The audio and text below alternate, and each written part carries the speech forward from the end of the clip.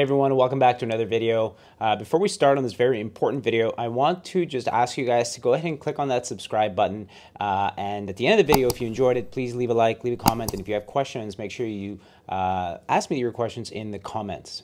Okay, subscribing is really the best way to support me in these videos, uh, and I would really appreciate it. So today we're going to be talking about annuities are maybe the most common thing in uh, TVM, and you know what, even in our day-to-day -day lives. Just to give you examples of what an annuity is.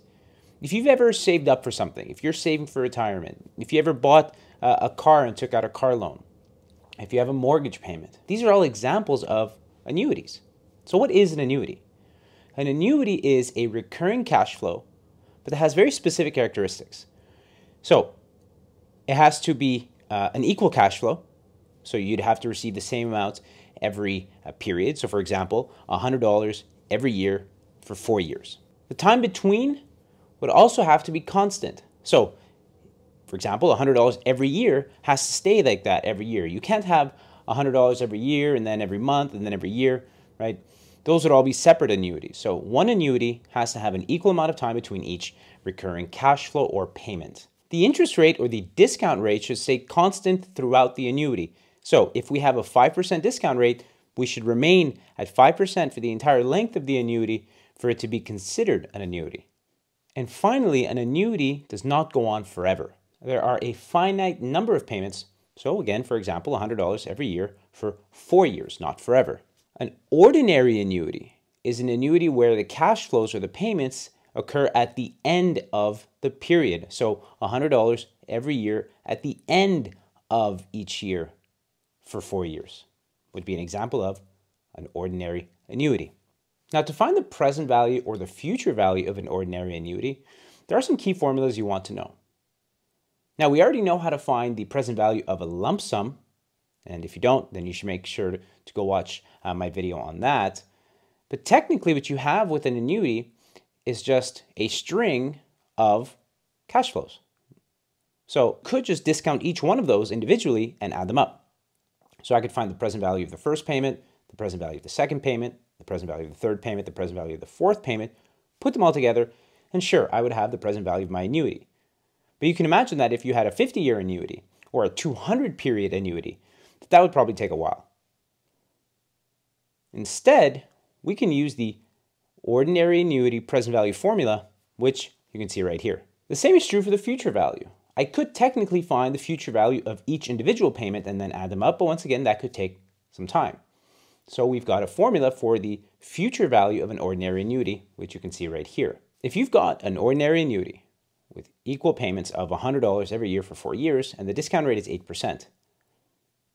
Now, if you were to discount each one individually, you can see right here that you would get a present value of $331.21. But that's a lot of work. Instead, if you were to use this formula, so we would set the present value equal to the payment, so the payment in this case would be $100, multiplied by and this entire bracket uh, is what we'd call a present value factor. So 1 minus bracket 1 plus your discount rate to the exponent negative n, n being the number of payments. All that divided by your discount rate, and you'll see that once you punch this into your calculator, you actually get the exact same result, $331.21. So it's a lot quicker, and you know it takes the same amount of time to solve a five-period annuity as it would a 500-period annuity. If you wanted to find the future value, meaning the value at the end of the cash flow, again, we could, as you see here, find the future value of each one, and you would get a future value of $450.61. But if you were to use the formula, which you can see here, so we said future value equal to the payment, so $100, multiplied by the future value factor, so bracket 1 plus the discount rate to the power n, minus 1, all that over the discount rate, and you'll see if you punch that into your calculator that once again you get the same result, $450.61. If the payments take place at the beginning of the period, so for example, if you're leasing something or if you're renting something, typically we have to make those payments at the start of the period. Well, this is what we would call an annuity due. And it has all the same characteristics, except for the fact that the payments have to take place at the beginning of the period.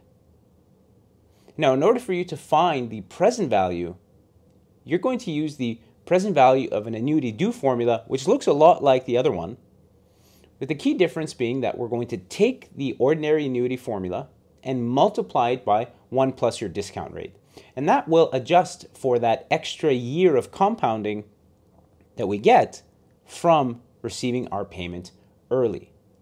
When I say early, I mean we are getting our payments at the beginning of the period instead of at the end. So in essence, we're getting them one period sooner.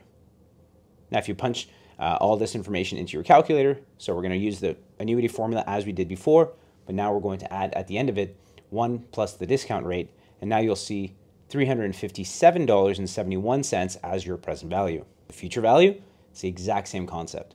The future value of an annuity due, you start by taking the future value of an ordinary annuity, same formula, but once again you multiply it by 1 plus k. So in our case here, if I took my future value from before and multiplied it by 1 plus the discount rate, I would get $486.66. So that's it. That's how you find the present and future value of both an ordinary annuity and an annuity due. I hope you found that helpful. If you did, once again, leave me a comment and uh, don't forget to hit that subscribe button. I'll see you guys at the next video.